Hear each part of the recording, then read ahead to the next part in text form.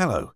In this video, we show how to get the best fit and performance with the Jabra Engage 50 headset. The Jabra Engage 50 headset comes in two different variants, stereo and mono. To get the best all-day comfort when using the Jabra Engage 50 stereo headset, make sure to adjust the length of the headband to fit the size of your head. To get the best all-day comfort when using the Jabra Engage 50 mono headset, make sure to adjust the length of the headband so the T-bar rests comfortably on the upper part of your head. The Jabra Engage 50 headset is equipped with a unique three-microphone system to filter out background noise.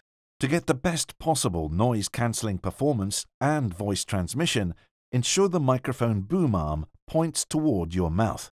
You can rotate the boom arm and bend the notched area of the boom arm, as shown, to ensure that it points toward your mouth.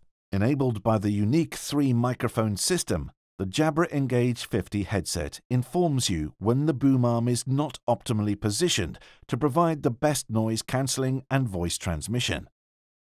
This notification is shown in the bottom right of the computer screen. You can enable the notification in Jabra Direct. To learn more about your Jabra product, use Jabra Direct, the software application that is available free of charge. In Jabra Direct, you can adjust the features and functions of your Jabra product according to personal preferences or company requirements.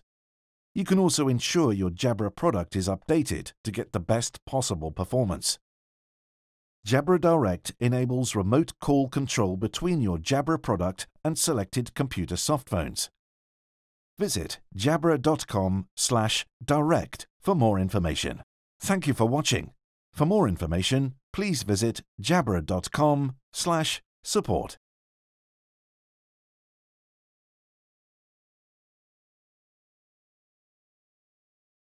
you